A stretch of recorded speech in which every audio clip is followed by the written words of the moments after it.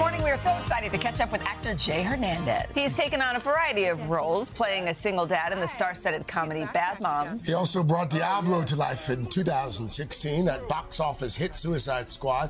Uh, by the way, really committed to that role because he shaved off his eyebrows. Well, luckily, he didn't have to do too much makeup. back. There you go. Well, these days, Jay stars in the Magnum PI revival, which is saying aloha to its new home on NBC. Jay playing Thomas Magnum, a former Navy SEAL turned investigator who takes on cases with Juliet Higgins. Not always such smooth sailing on the way. Okay, let's talk about what you two are doing here. Well, Macy's wife hired us to investigate his death. Why would she hire a couple of private eyes? Investigators. Macy died in a car accident. There was nothing suspicious about it, and yet here you are searching his office. Why? Well, it was at least a little suspicious. He was an impeccable driver. He had no moving violations. Was he upset? Did he get into some kind of altercation? His wife just wants answers.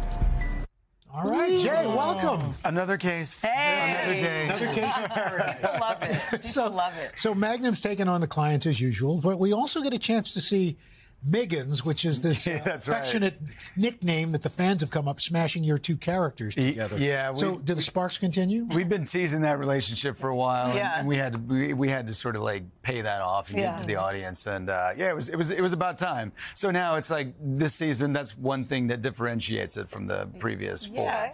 Yeah. And we love that you're paying it off now um, that the show is on NBC. It was on a Yes, different that's network. right, that's right. but what I think is so cool is fans rallied around this show so much. They banded together, put up a billboard in Times Square, Mm-hmm. and NBC picked it up, and here we go. Yeah, it's uh, when I heard about it. PI. When, when I yeah, when I heard about it, I was like, "Is this real?" Is, you know, because you see so much stuff on social media and you don't want to believe it.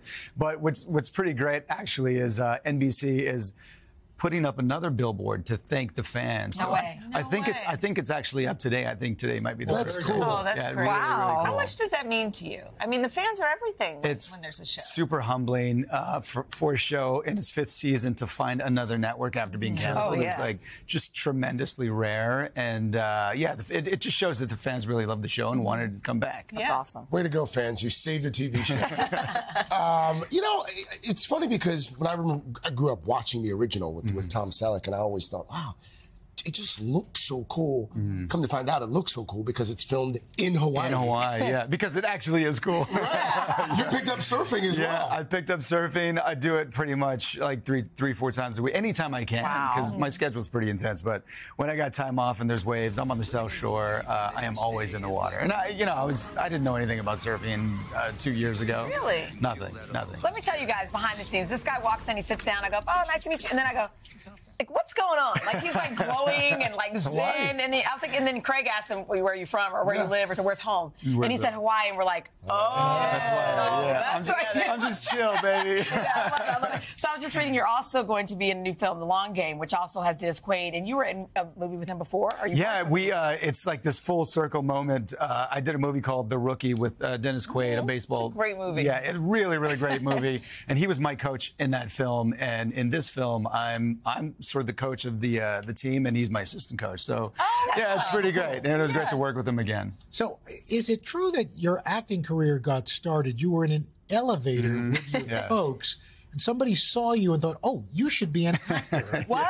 And, uh, Yeah. so, and your folks said, "Oh, yeah, that's a great idea, stranger." Well, who no, we've never met. No, my dad, my dad was like, "Who is this creep trying to, you know, like, hitting on you?" my child. yeah. Yeah. And my mom was actually the one that convinced me. It was like two weeks later. She's like, "You should call that guy." old were you know, you? I was, uh, I think, 17 or 18. Wow. I had never acted in my life. Never, you know, high school play, nothing, no theater.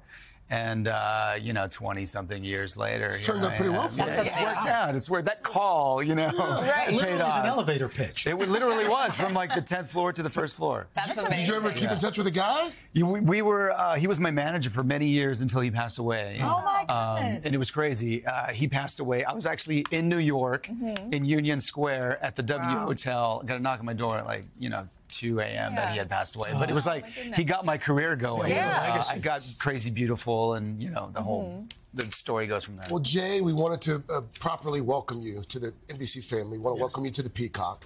And so we, we spent a lot of money on this. oh, love it. This is- thank you, Mike.